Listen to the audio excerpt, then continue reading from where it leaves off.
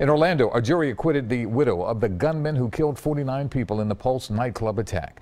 Noor Salman walked out of jail today with her attorney. Federal prosecutors had accused her of helping her husband plan the attack. They charged her with lying to the FBI and providing material support to a terrorist organization.